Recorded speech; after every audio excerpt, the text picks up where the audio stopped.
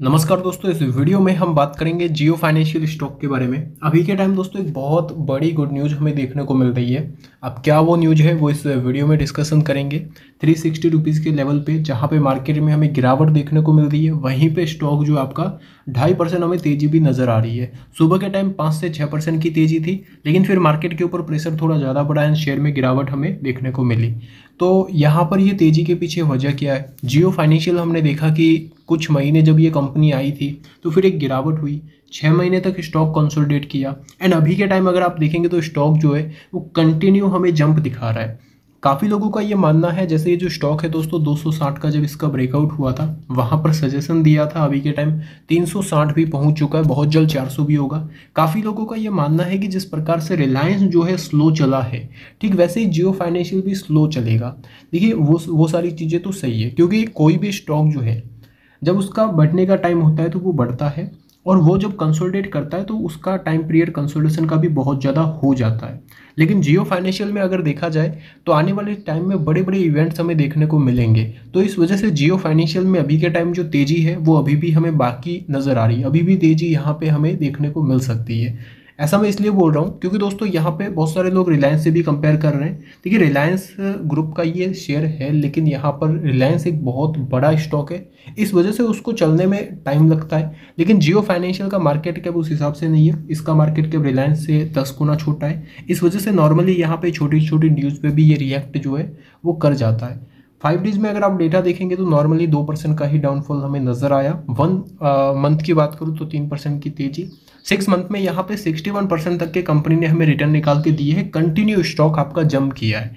आज के दिन अगर आप चेक करते हैं तो यहाँ पे मार्केट के ऊपर प्रेशर है।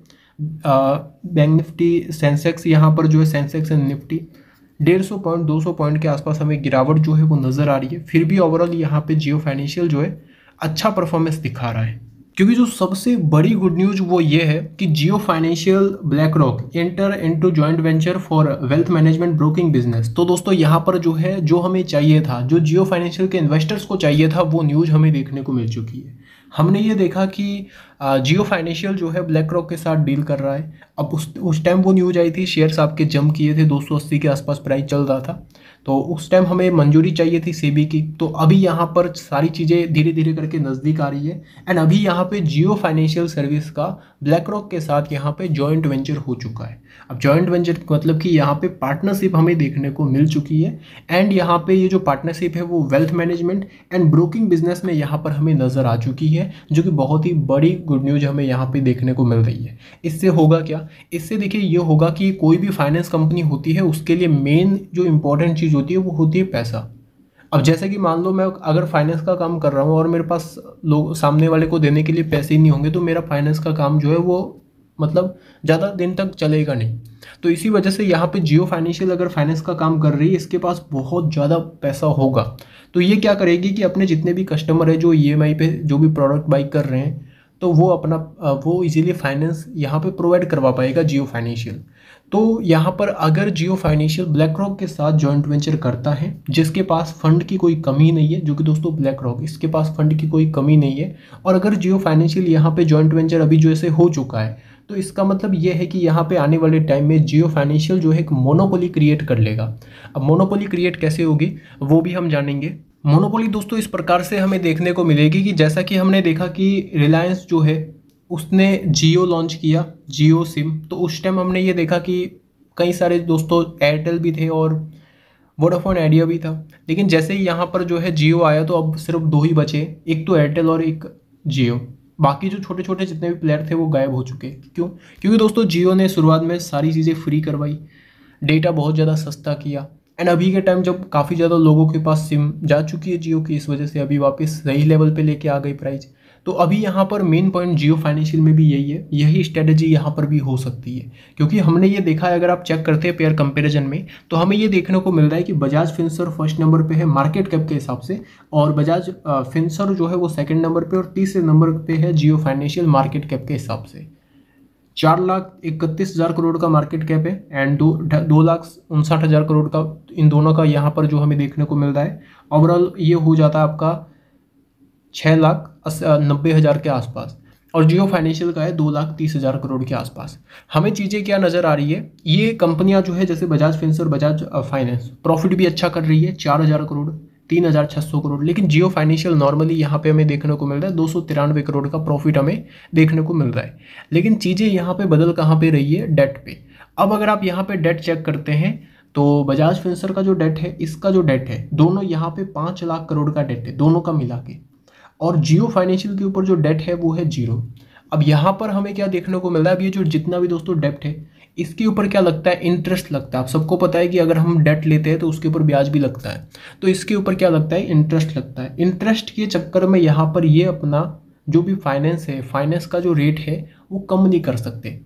और जियो के ऊपर यहाँ पे किसी प्रकार का कोई अगर आप देखेंगे तो डेट है नहीं। तो इस वजह से जियो फाइनेंशियल कस्टमर को अट्रैक्ट करने के लिए यहाँ पर अपना जो इंटरेस्ट रेट है, वो कम कर सकते हैं। जैसा कि यहाँ पे इन्होंने जियो सिम में किया था, सारी शुरुआत में तो फ्री में दिए थे और डेटा बहुत सस्ता कर दिया था कस्टमर आए और अब ज़्यादा कस्टमर जुड़ गए तो उसके बाद इन्होंने सारी चीज़ें सही सेटल कर दी। तो यही चीज़ें हो सकती है डेट है ज़ीरो इनके पास जो भी एसेट है, एक लाख उन्नीस हज़ार करोड़ रिज़र्व जो पड़ा है एक लाख करोड़ का ये सारा घर का पैसा है। तो ऐसे में अगर ये शुरुआत में कस्टमर को आकर्षित करने के लिए, बजाज फाइनेंस को यहाँ पे बड़ी टक्कर एंड इनके कस्टमर छीनने के लिए सारी चीज़ें यहाँ पर सस्ते में प्रोवाइड करवा सकते हैं। जैसे कि मान लो, अगर मैं कोई मोबाइल फ़ोन ले रहा हूँ और उसमें मैं बजाज फाइनेंस से अगर मैं यहाँ पे फाइनेंस करवा रहा हूँ तो ये मान लो मेरे से यहाँ पर दस परसेंट का इंटरेस्ट ले रहा है और वहीं अगर मैं जियो फाइनेंशियल से करवा रहा हूँ, ये मेरे से आठ परसेंट का इंटरेस्ट ले रहा है तो मैं जियो फाइनेंशियल से फाइनेंस करवाऊँगा। तो यही चीज़ें होती है। अगर आप फाइनेंस का बिज़नेस कर रहे हो और आपके पास फंड खुद का है और आपके पास एक बहुत बड़ा फंड है तो उस बिज़नेस में आप यहाँ पे बड़े लेवल पे पहुँच सकते हो। यही चीज़ें हैं कि अगर यहाँ पे अभी के टाइम ब्लैक रॉक के साथ हमें देखने को मिल रहा है कि डील हो चुकी है। अब ये डील हमें जॉइंट वेंचर देखने को मिल चुका है तो अगर बड़े फंड की भी ज़रूरत होती है तो जियो फाइनेंशियल यहाँ पर ब्लैक रॉक से अरेंज कर सकता है। तो ऐसे में यहाँ पर हमें in future Jio financial Bajaj finance को भी टक्कर देते हुए नज़र आ सकता है। एंड यहाँ से जो ये मार्केट कैप आपको दो लाख करोड़ का देखने को मिल रहा है। आने वाले समय में पाँच से दस लाख करोड़ का भी हो सकता है। ये सारी चीज़ें एक दो दिन में नहीं होगी। एक दो साल दो साल, तीन साल का समय भी लगेगा। और ये भी याद रखना जैसे जैसे जियो फाइनेंशियल बड़ा होगा, इसकी शेयर की जो तेज़ी है, वो धीरे धीरे होती रहेगी जैसे रिलायंस जैसे देखने को मिलेगी। और अभी के टाइम अगर आप चेक करते हो तो जैसे इसके ऊपर डेट है नहीं, इस वजह से अगर आप इंटरेस्ट भी देखेंगे तो यहाँ पे ज़ीरो देखने को मिल रहा है। क्वार्टरली वाइज इंटरेस्ट अगर आप देखेंगे तो यहाँ पे हमें ज़ीरो देखने को मिल रहा है, क्योंकि कंपनी को किसी को यहाँ पर इंटरेस्ट देना ही नहीं है। और अगर मैं इन्वेस्टर्स में बात करूँ तो FI वालों की DI वालों की होल्डिंग अच्छी है प्रोमोटर्स की होल्डिंग अच्छी है प्रोमोटर्स ने इंक्रीज किया है।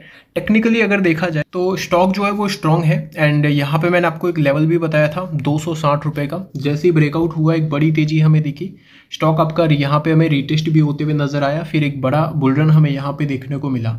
अभी आगे क्या टारगेट रह सकते हैं, उसके बारे में अगर मैं आपको बताऊँ तो सबसे पहले फिबोनाची लेवल्स यहाँ पे हम सेट सेट करने वाले फिबोनाची के हिसाब से अगर देखा जाए तो स्टॉक का जो इंपॉर्टेंट रजिस्टेंट जोन हमें देखने को मिल रहा है थ्री का। 370 का एक इंपॉर्टेंट रेजिस्टेंट जोन है। तीन सौ का लेवल जैसे ये स्टॉक ब्रेक करता है तो चार रुपए के लेवल पे जियो फाइनेंशियल हमें जाते हुए देखने को मिलेगा।